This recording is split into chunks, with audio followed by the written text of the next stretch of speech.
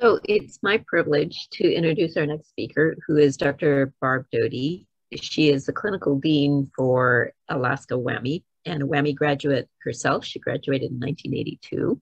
She's practiced family medicine for over 20 years in the Mat-Su Valley. She works with students with Trust, WRITE, and MUAP, all part of our clinical programs. And we'll be talking to you about the importance of the interview as part of the admissions process in WWAMI. Dr. Doty. Thank you, Kathy.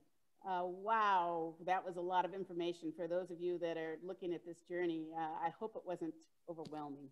Um, my speaker working okay? Could be a little louder. I'm not sure how to make the volume up, but uh, I'll speak louder. How about that? That's perfect. there you go. Uh, so what a journey. You decide you maybe want to go to medical school, and maybe that was something you thought about as a, as a kid growing up, or maybe you explored uh, health sciences and decided that was a path you'd like to take. And you completed your prerequisites, worked hard. You explored medicine as a career by shadowing, by uh, uh talking to other folks, by spending time as a, as a scribe.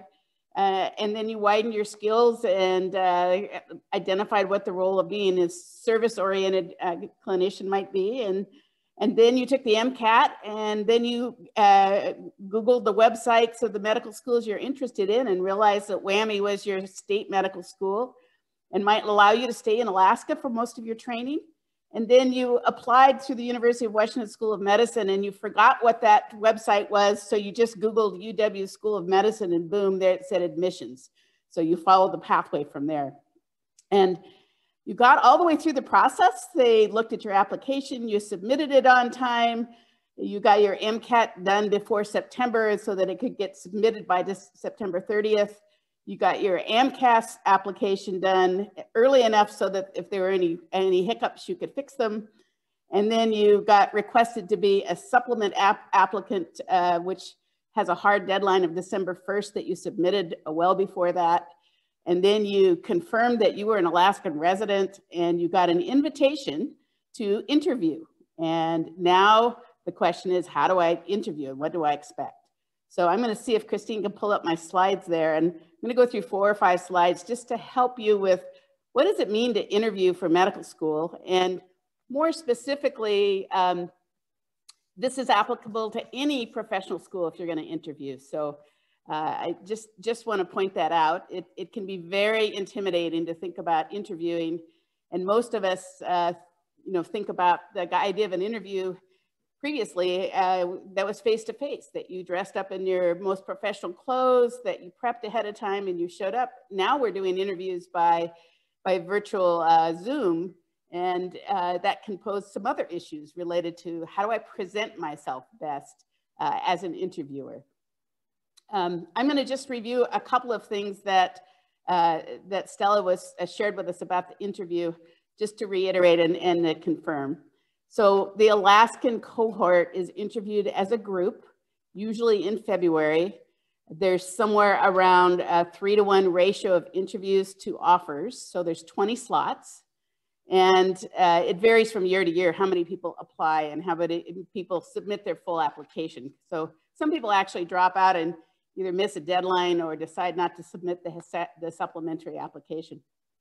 But uh, all those that are confirmed and, and uh, get through the screening process then are offered an interview. And those interviews are all conducted in one week, usually in February, by a team of really well prepared and, and trained uh, interviewers who want you to be successful. Um, and that's an important take home message is that you know, the interviewers are not there to trip you up or, or create conflict. They're there to really to hear your story to hear why is it that medicine is a good fit for you and why the Alaska program is actually an ideal place for you to do your training. So um, just looking at this first slide, uh, I think we went through the first part. Um, understanding the process makes it less scary. So the more that you can do your background search and look online uh, various schools, and particularly to the UW school, uh, there's some information about interviewing. in general, but uh, most of the information for WWAMI in Alaska is actually at the UW main site. So you go to that UW School of Medicine admissions program, spend a lot of time there and look at all the resources that they bring up. There's a wealth of information there, including videos that show you uh, what they're looking for for interviews. Um, next slide. when you're interviewed, uh, you will be given a specific time slot, and on the day of your interview, you'll be introduced to your three interviewers. Um, during that day, we also give you an uh, uh, a little more information about the program itself. So Dr. Young will be there, some students will be there. We let the students actually chat with you one-on-one so that there's not other faculty or, or uh, uh, administrative folks present. Um, some of you may already know students who are in the program, and that's always a good resource. Um, the interview itself will be a specific 30 minute period of time. And there will be three interviewers. One will be what they call XCOM, who is the person that sort of is your advocate and knows all the information of your application. And there are two other people that are referred to as ADCOM members. They're often Alaskan physicians uh, or can be from the public. Uh, currently, Alaska has not had a student on their admissions committee, but that has been done at UW in the past. Um, and, and the ADCOM members do not know your GPA and don't know your MCAT score. Uh, so they don't know the academics, but they do know your personal statement and they know uh, what your clinical exposure is. They know what your service experience is. Um, and any leadership or research, anything that you've revealed in the application outside of your GPA or MCAT, those individuals know that prior to your uh, interview. And believe me, they've done their homework um, because they wanna make the best uh, value for the 30 minutes that they get one-on-one -on -one with you to understand fully who you are and what you bring to, to the program. Because uh, we're looking for physicians for Alaska that wanna stay in Alaska, don't have to do primary care. You can do whatever specialty you're interested in, and you don't need to know what your specialty is going to be by the time you get done, because this is a journey.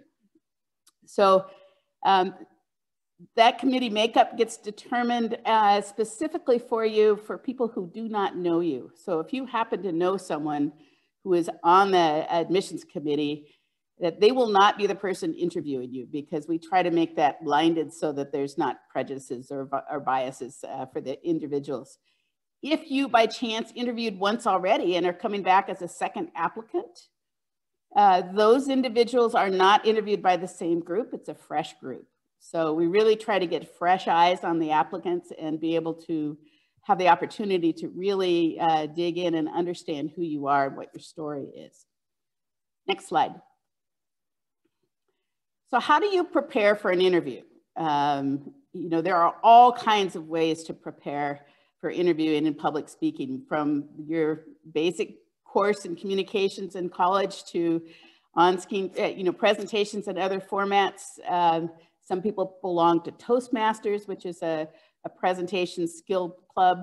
There's all kinds of ways to prepare, but you really need to know your application code as well. Know what it is that you revealed in your inter, in your um, uh, personal statement.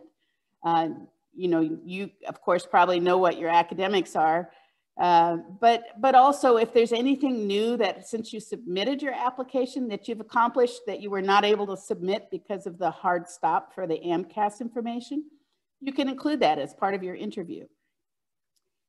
There's a lot of us that are uncomfortable um, is with public speaking. Some of us, um, you know, don't know how to express ourselves clearly uh, in certain ways, especially when we're nervous. Those are things to practice. Uh, you're not expected to be an expert. You're expected to be honest and truthful and able to um, speak clearly about who you are and why this is a good career fit for you. Next slide. So as, as, as, as, Stella shared with you, these are some of the areas that are um, a focus area for the interviewers in terms of assessing uh, the interview component of the application. So what is your motivation? You know, why is it that being a doctor is a great career focus for you? Um, what brought, what's your journey? What brought you to this point? Um, how well can you communicate that? Can you, can you uh, tell an enlightening story of who you are that helps communicate why this is a good fit? Um, are you able to be empathetic? Are you able to think on your feet? Are you able to express uh, a knowledge of the field of medicine, not as a clinician, but as an exposure to that profession in general? Um, and, and probably a biggest, big part of medicine is about problem solving. So can you do analytical thinking? Um, if you were to be given a, a scenario, a role play, uh, and asked how would you respond, can you think on your feet and put together a more comprehensive response than you know short answers to that particular scenario? Next slide. So what are the expectations for this committee uh, when they're interviewing you? Um, they are not there to trip you up.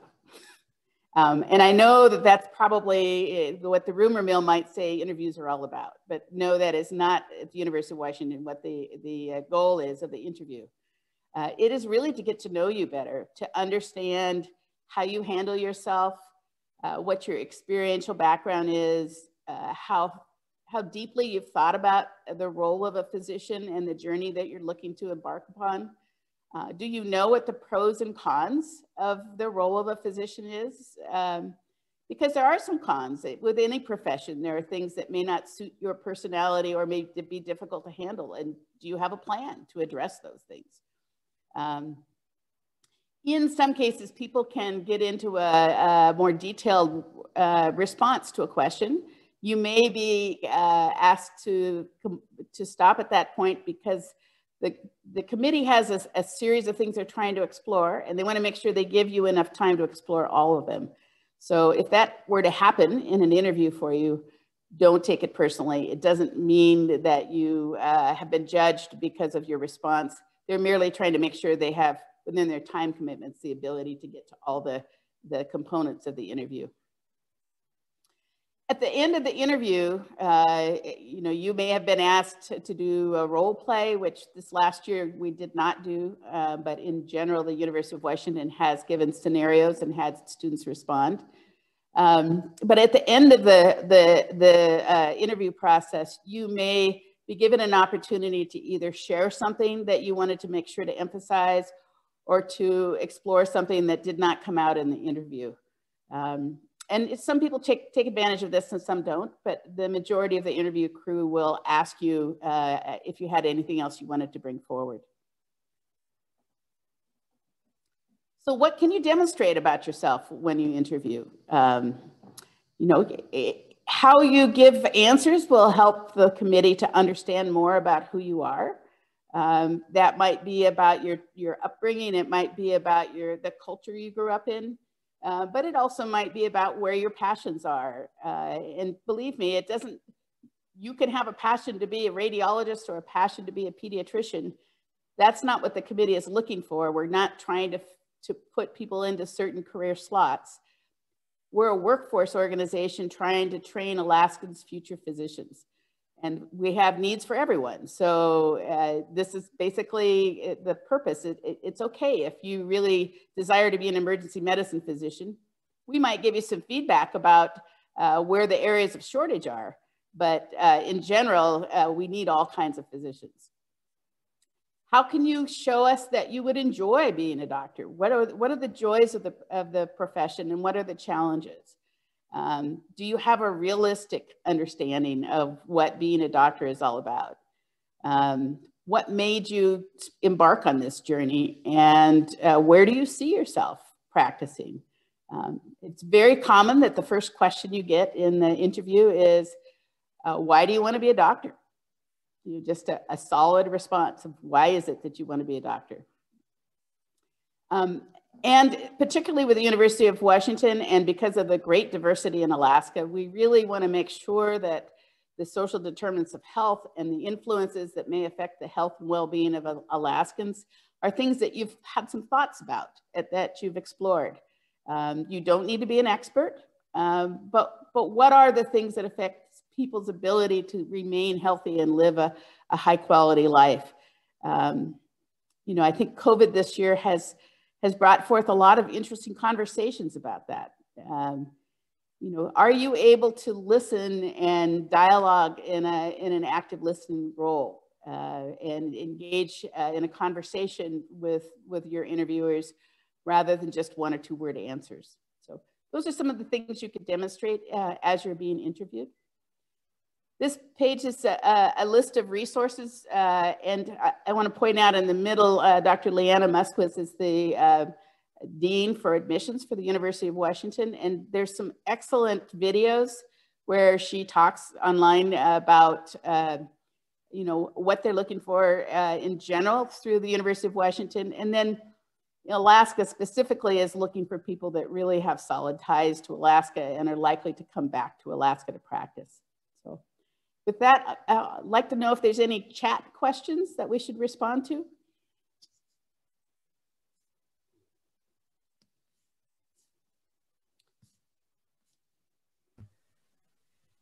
Um, oh, you. It looks like you might see it, but um, one question did just come up, Barb. Um, what is your advice for where to take the interview online? That's a great question. Um, a couple of basics. First, a place with excellent internet. Um, I have done interviews uh, for students that were doing away rotations in Kathmandu, and that was difficult. you don't want to risk the quality of your interview by not having good internet access. So that's probably the number one. Uh, that it, it, doesn't matter otherwise if it's an online interview. If it's an if it's a face-to-face -face interview, it will be in Anchorage uh, on, on campus. And I believe this next year is likely to be online again. Uh, maybe Dr. Young knows for sure, but I believe we will be probably doing virtual rather than, than face-to-face -face interviews again this year.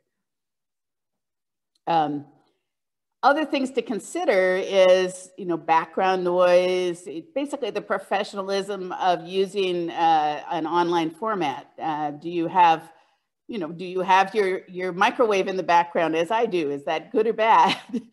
Could you, uh, you know, is your animal in the house uh, secured so that they're not going to interview the conversation? Um, any of those professional things to think about. Um, as far as there's a question about making connections in the professional field, um, I want to say uh, that uh, that's a great question. And I think if you reach out to the WWAMI office, uh, we have pre-med advisors uh, at UAA that will also serve anyone who's looking to uh, apply to, to the WWAMI program in Alaska. Um, you may be at an institution outside of Alaska for undergrad. They're a great resource to get you exposure as well. Um, there are pre-med advisors uh, in most institutions and I remember when I went through, I was scared to talk to them because then I had to admit that I was thinking about applying to medical school. and probably that's not the best approach. Uh, it's probably better to admit upfront that you're just exploring and find out what they have to offer. Uh, it's much less intimidating if you have the power of knowledge. Um, other connection ideas, Dr. Young, do you have thoughts? Yes, where we usually send people is back to your own primary care physician um, or whoever you're receiving care from or your family's received care from um, is probably a good person to start with. Any connections you have um, through nursing or other connections with the hospital um, are good people to reach out to as well. The medical staff office of most hospitals ha often has a volunteer program. If you're in a community that you're not familiar with that hospital, put a call in to the medical staff office and find out if they have a volunteer program or if they have some connections with some of the um, offsite private practices that might be willing to take or eh, take a, a student for shadowing. Um, they usually get those questions frequently and are well prepared to respond.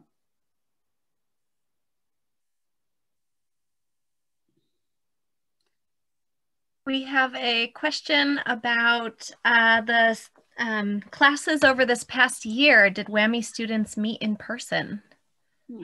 Um, yes and no. I'll take that one. Um, so the clinical students were in their um, clinical programs, I think from what, June onward, Dr. Doty? Mm -hmm.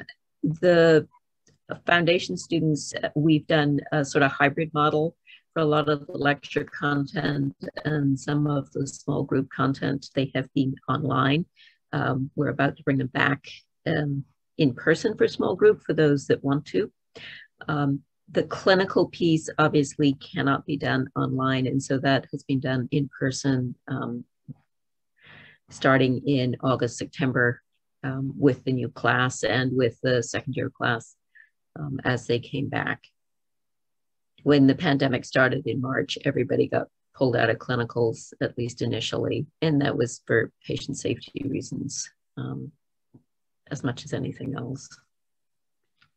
So just specific to COVID, um, we had to shorten our usual six week um, um, primary clinical rotations to four weeks uh, during the during the pandemic. Uh, they're back to six weeks now. Um, those are you know the classic surgery, internal medicine, psychiatry, family medicine, pediatrics, OBGYN. Uh, we do 12 weeks of internal medicine rather than six weeks. And that really comprises your what we call patient care phase or third year of medical school. In, uh, as soon as you finish step one uh, exams, which are uh, uh given in the, in the uh, end of the second year, usually between December and March. Uh, following that time, we start the clinical rotations. And as you may know, in the WWAMI program, those clinical rotations can be primarily focused in Alaska at the Alaska, track, called the Alaska track, not all in Anchorage, but primarily in Alaska or can be uh, what we call safari, which is where you wander around the system, um, but, but express your um, interest and your preferences in terms of where you do certain rotations. We fondly refer to that as working with your WWAMily, which is your whammy family.